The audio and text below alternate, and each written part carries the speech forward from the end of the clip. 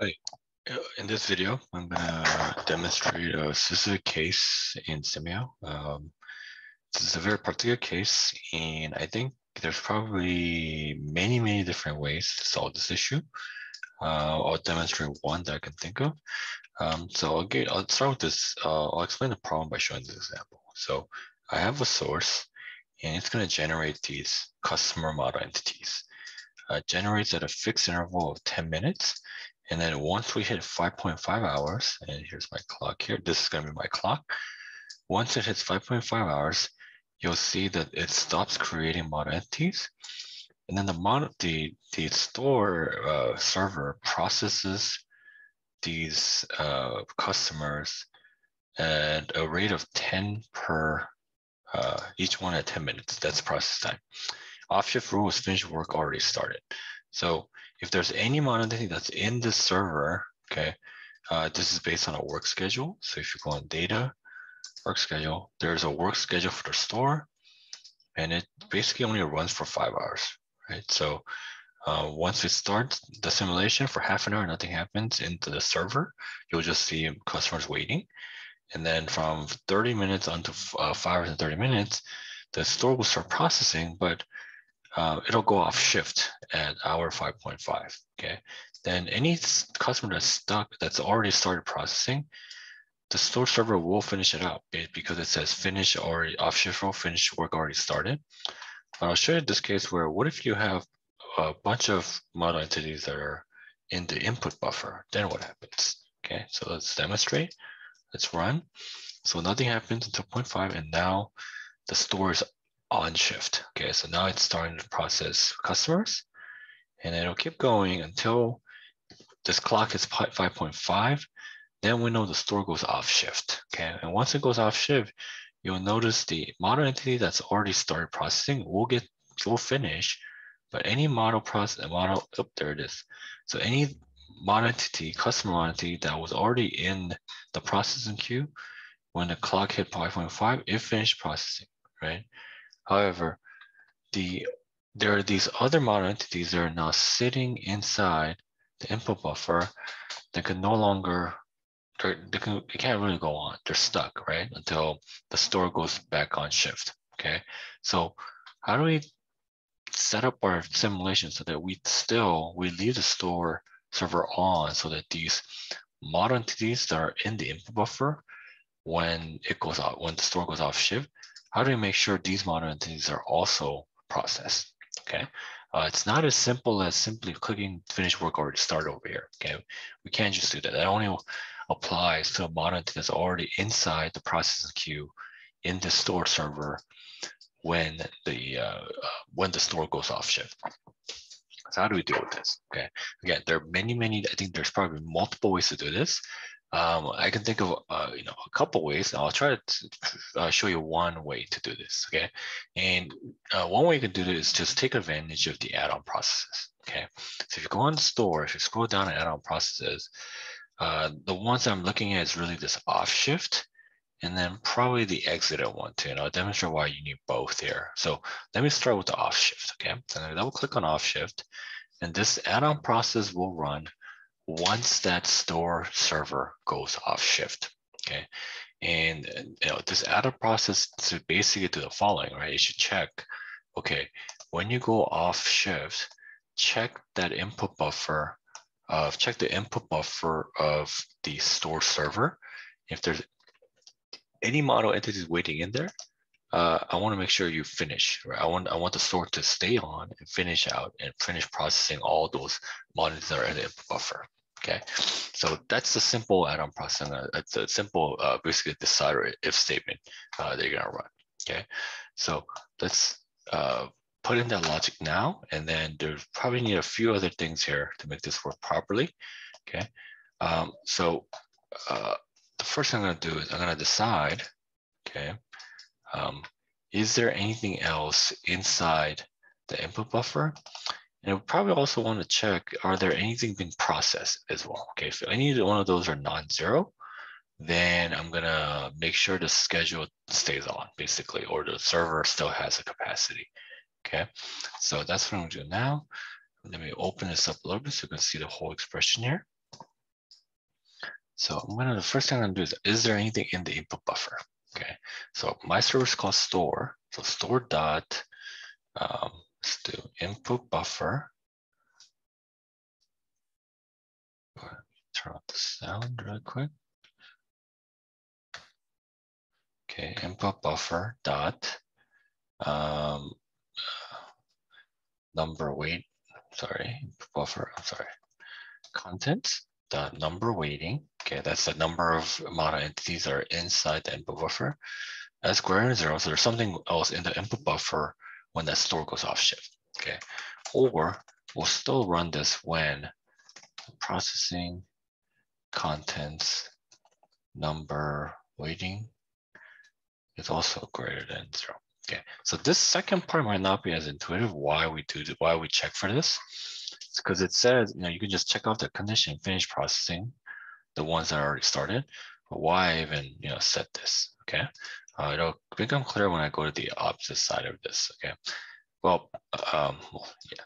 So let's set this up first. Let's run that first. Okay, and then um, what I also want to do is I probably want to create some kind of a like a marker or some kind of use a variable to define whether or not a this particular server is uh, off shift or on shift.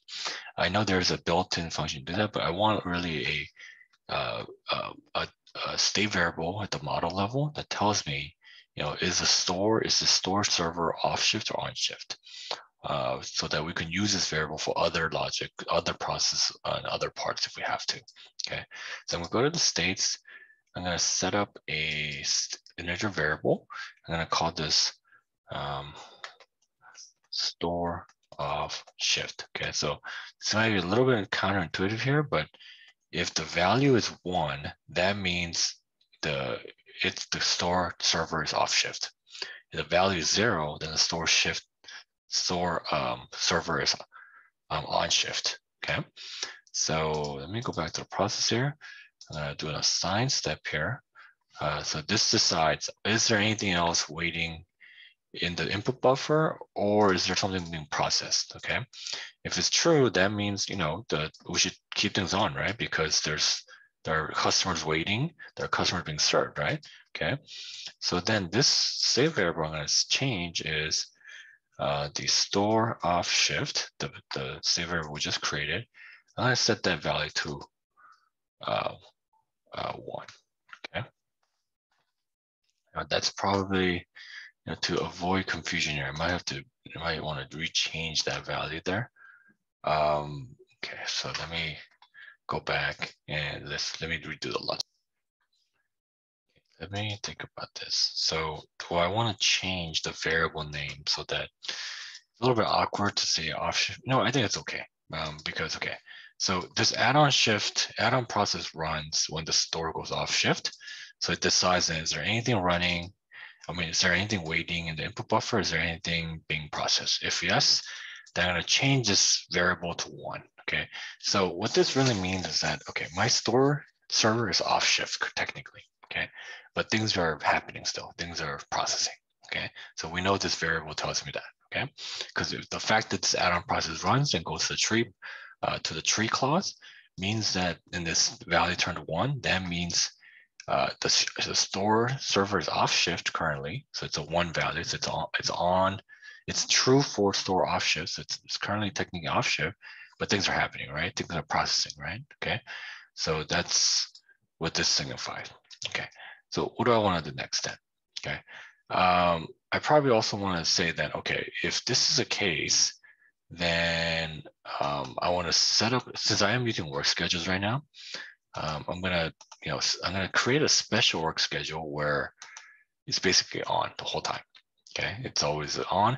And the reason I want to do this using work schedule is so that I can exploit that cost multiplier if I have to uh, charge overtime hours. Okay, um, if I go back to my data table and look at the work schedules, see notice there's a cost multiplier of one.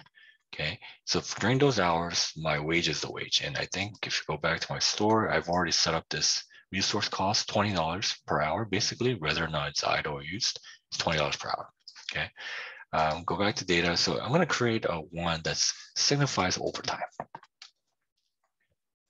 So overtime. Okay, and I'm going to create a day pattern called overtime. And then the way the overtime day is going to work, uh, you know, it doesn't really matter what because I'm going to just turn this on and off based on uh, when the when it starts and ends, basically. So um, this this is not really a schedule. It's kind of like okay, if it happens, we're going to point to this work schedule because um, I'm going to exploit this cost multiplier. So I'm going to assume it's a cost multiplier usually is 50% uh, uh, premium, so it's 1.5 hours. Okay. Um, well, I'm sorry, 1.5 the regular rate. Okay, so that's my cost multiplier there. Uh, so when we're at off shift, but we're start to process stuff, we're gonna switch the schedule to this overtime day so that um, we start accruing this cost multiplier here based on the cost multiplier. Okay, we're gonna charge wages based on the cost multiplier.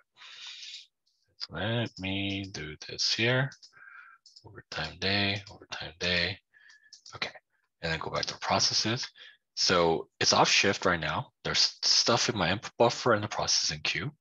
So you know we still have to keep things on, keep the storage server on. Okay, and this variable tells me that we're currently off shift, but we're still processing. Okay, um, the next thing that we're gonna do is we're gonna change my change the work schedule. So I'm gonna go to all steps here and go to set work schedule. Okay, I'm gonna drag that there. And the resource type, I'm gonna change it to specific object. And I'm gonna change it to my uh, store server. And the new work schedule I'm gonna set it at is the overtime work schedule. Okay, so if you go back to this, if you start running you'll see there will be a change. We're not quite done yet. Okay, there, we do have a few other loose ends here, but let's see what happens when I hit 5.5. Okay, before it turned white and the, were customers are stuck in the input buffer. This is what happens when we hit 5.5 now.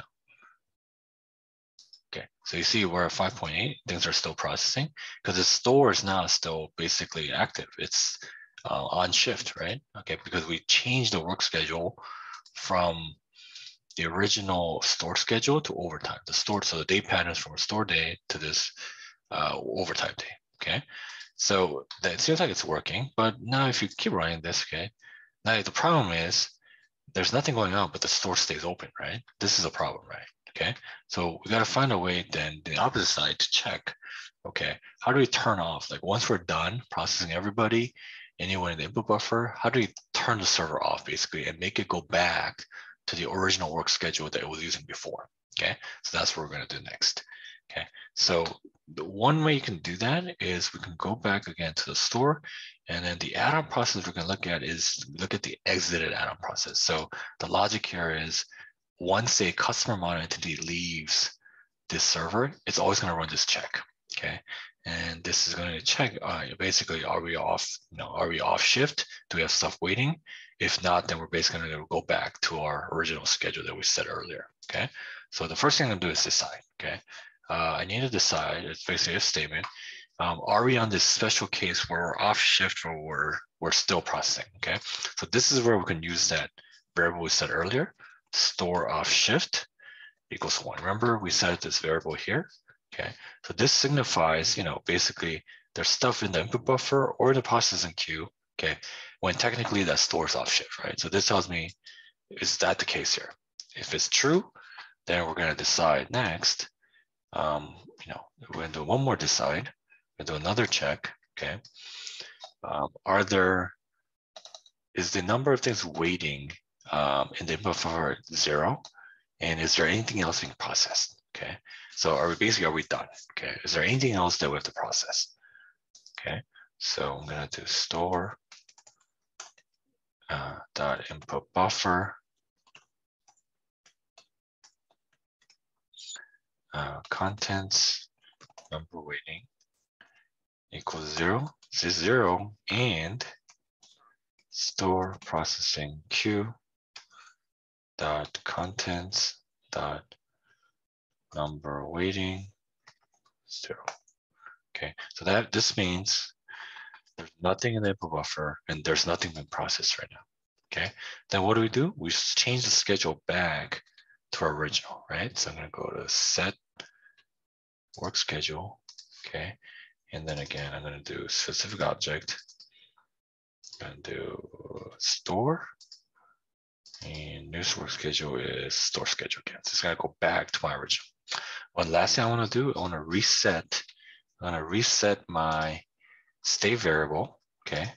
And I reset my state variable. Um, that was the store of shift, this variable.